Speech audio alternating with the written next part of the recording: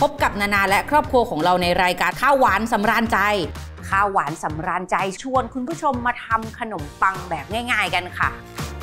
เมนูนี้นานาได้แรงบันดาลใจมาจากขนมปังหน้าหมู เป็นเมนูขนมปังหน้ามันกุ้งเสวยแหมน่ากินมากๆเลยนะครับ คุณผู้ชมกับเมนูปาล์มชูการ์โคโคนัทเอ็กเจลลี่นะครับข้าวหวานสำราญใจนะครับ บ่าย2โมง45 นะครับ ทางช่อง Workpoint TV หมายเลข 23 ครับ